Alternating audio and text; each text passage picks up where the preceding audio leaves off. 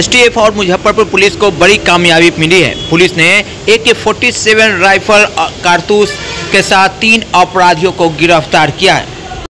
बताया जा रहा है कि एसटीएफ मुजफ्फरपुर पुलिस के ज्वाइंट ऑपरेशन में गुप्त सूचना के आधार पर मुजफ्फरपुर जंक्शन के बाहर रेड किया गया। दो अपराधियों को राइफल के बट और लेंस के साथ गिरफ़्तार किया गया। इनकी निशानदेही पर फकुली के मलकौनी गाँव में रेड की गई। देव मणि नामक व्यक्ति के घर पर पुलिस ने रेड कर उससे पूछताछ की। पाया गया। उसके घर के बाहर खाली जगह से एक फोर्टी सेवन एसॉल्ट राइफल और पाँच ज़िंदा कारतूस बरामद किया गया है। इस मामले में तीनों लोगों की गिरफ्तारी की गई है। विकास सत्यम और देव मुनि से पुलिस ने पूछताछ की। इस संबंध में मुजफ्फरपुर एसपी राकेश कुमार ने बताया कि एक सूचना मिला था कि दो व्यक्ति मुजफ्फरपुर स्टेशन पर साइट के तरफ़ से आए हैं। जिनके हाथ में प्रतिबंधित हथियार है। सूचना के आधार पर एसटीएफ की टीम ने छापेमारी कर दो व्यक्ति को प्रतिबंधित राइफल के बट के साथ गिरफ़्तार किया। गिरफ़्तार अपराधी के निशानदेही पर फकुली थाना क्षेत्र के मलकौनी से एक शख्स को गिरफ़्तार किया गया और पूछताछ के राइफल के बचा सामान को बरामद किया गया।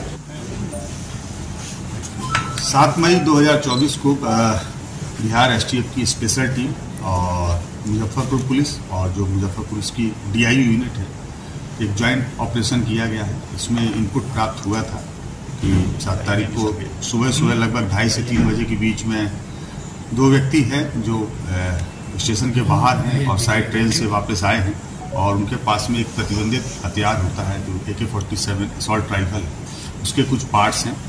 इस सूचना के आधार पर टीम ने रेड की स्टेशन के बाहर में और वहाँ से दो लोगों की गिरफ्तारी की गई है। जिसमें से एक व्यक्ति का नाम विकास है और दूसरे का नाम सत्यम है। जब इन तीनों को सर्च किया गया तो इनके पास से उस वेपन से संबंधित एक जो बट होता है, जो पीछे का पार्ट होता है, वो मिला और एक दूरबीन मिली। फिर इन दोनों से कड़ाई से पूछताछ की गई। इनके द्वारा अपराध को स्वीकार किया गया और इनकी निशानदेही के आधार पर फकली थाना अंतर्गत मलकौनी एक गाँव है, वहाँ पर छापेमारी की गई है और वहाँ छापेमारी करके देवमुनि नामक एक व्यक्ति जिनके घर पे रेड हुई थी। उनसे पूछताछ की गई और देवमुनि की निशानदेही के आधार पर उनके घर के पास में ही एक अबंडेंट जगह है, खाली जगह है जहाँ से ए के फोर्टी सेवन हथियार है, उसको बरामद किया गया है और पाँच राउंड ज़िंदा कारतूस है। इस प्रकार से इस पूरे घटनाक्रम में तीन लोगों की गिरफ्तारी की गई, जिसमें से एक का नाम विकास है, दूसरे का नाम सत्यम है और तीसरे व्यक्ति का नाम देवमुनि है। इनके पास से तीन मोबाइल भी हम लोगों ने जब्त किए और जो हथियार जब्त किया गया, ये काफ़ी सोफिस्टिकेटेड हथियार है ऑटोमेटिक राइफल ए K forty seven assault rifle के रूप में इसको जाना जाता है। और इन तीनों से ही काफ़ी डिटेल पूछताछ की गई है। पूछताछ के दौरान काफ़ी बातें हम लोग के प्रकाश में आई हैं, काफ़ी इनपुट्स हम लोगों को मिले हैं। चाहे वो बैकवर्ड लिंकेज के रूप में हो या फॉरवर्ड लिंकेज के रूप में हो मतलब ये हथियार कहाँ से लाते थे और कहाँ कहाँ इनके द्वारा सप्लाई किए गए, उस इनपुट्स के आधार पर हम लोग काम कर रहे हैं। और इसमें जो अन्य फर्दर डेवलपमेंट्स होंगे, उसके बारे में आप लोगों को आगे बताया जाएगा। किसी गिरोह इस एक्टिविटी का कोई बहुत सीधा संपर्क नहीं है। हालाँकि इलेक्शन के दौरान भी हम लोगों की गहनता और तीव्रता बहुत बढ़ जाती है अपराध अपराध के क्षेत्र में और अपराध कर्मियों की गिरफ्तारी के दृष्टिकोण से लेकिन इसमें टीम काफ़ी पहले से होमवर्क कर रही थी।